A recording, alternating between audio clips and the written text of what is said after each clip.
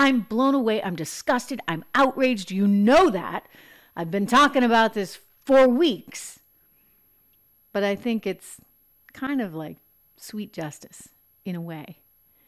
That on the same day she's showing up with all her little paperwork to go to his golf course in Westchester County and try and take that, seize his assets, he scores three billion smackaroos. I mean, wow.